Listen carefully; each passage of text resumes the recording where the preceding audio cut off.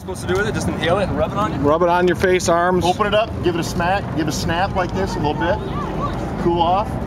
Take your hat off, wipe yourself down.